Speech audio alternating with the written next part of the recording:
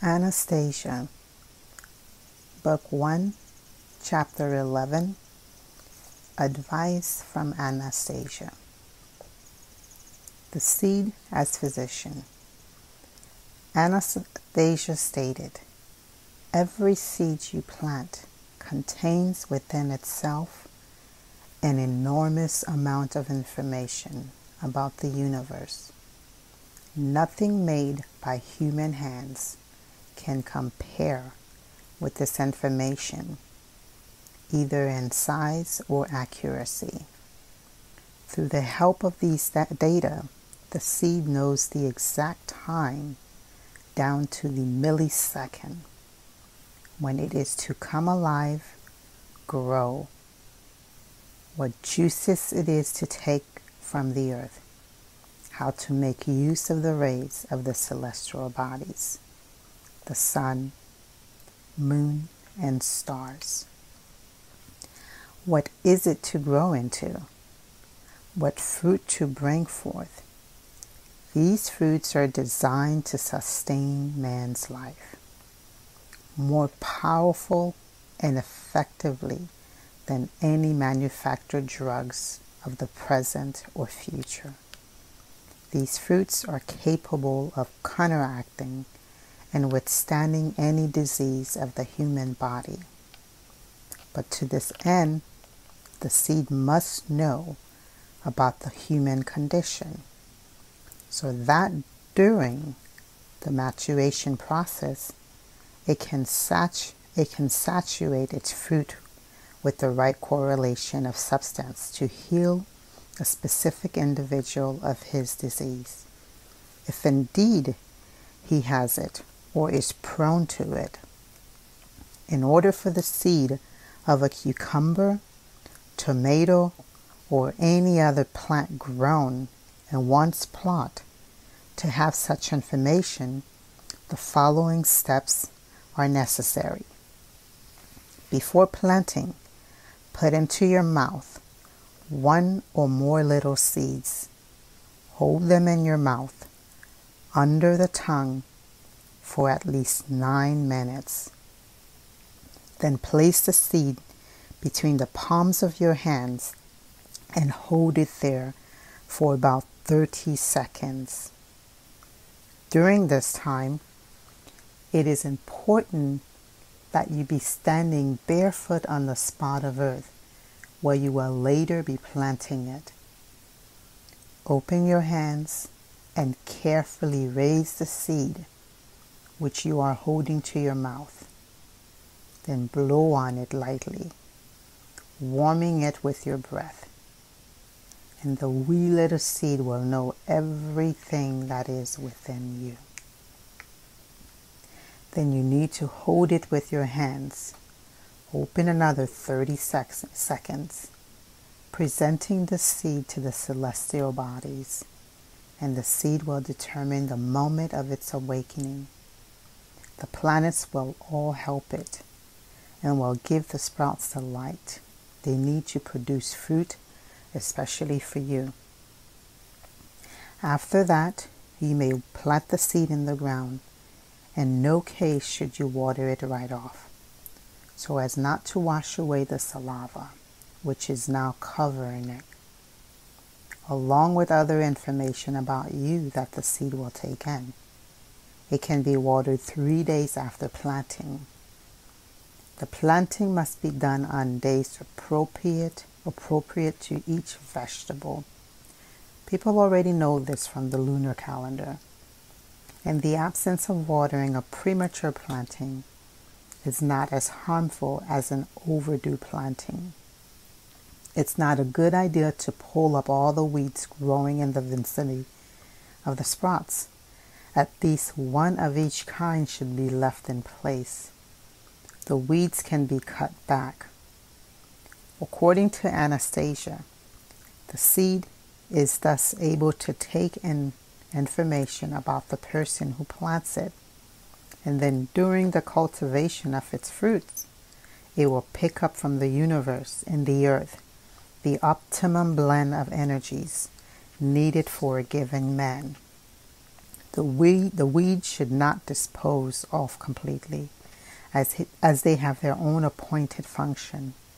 Some weeds serve to protect the plant from disease, while others give supplement, supplemental information. During the cultivation time, it is vital to communicate with the plant at least once during its growth period. And it is desirable to approach it and touch it during a full moon.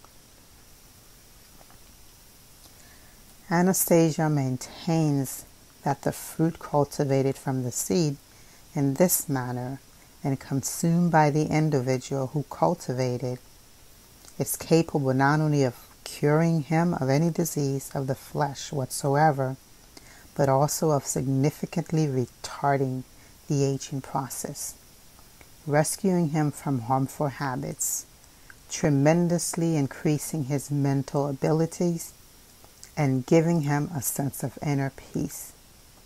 The fruit will have the most effective influence when consumed no later than three days after harvesting.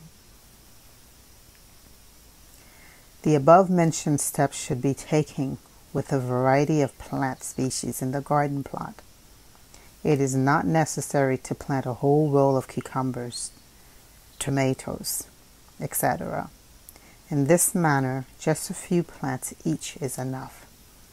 The fruit of plants grown like this will be distinguished from other plants of the same species, not only in taste, if analyzed, it will be seen that they are also distinct in terms of the substance they contain.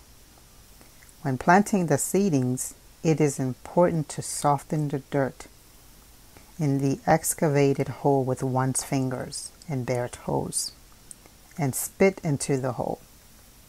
Responding to my question, why the feet?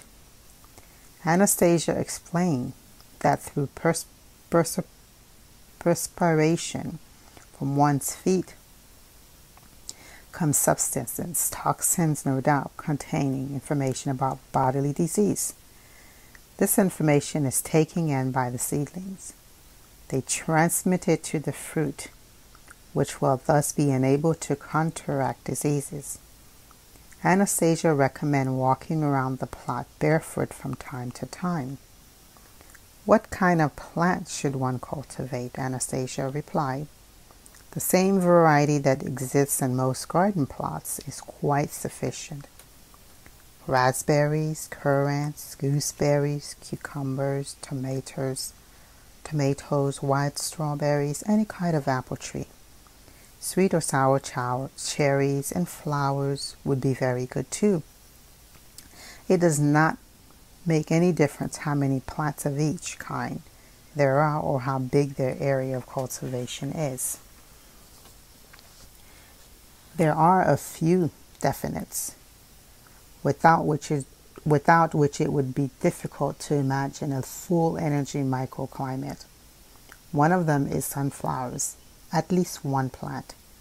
There should also be one and a half or two square meters of cereal grains, rye or wheat, for example, and be sure to leave an island of at least two square meters for wild growing herbs, ones that are not planted manually.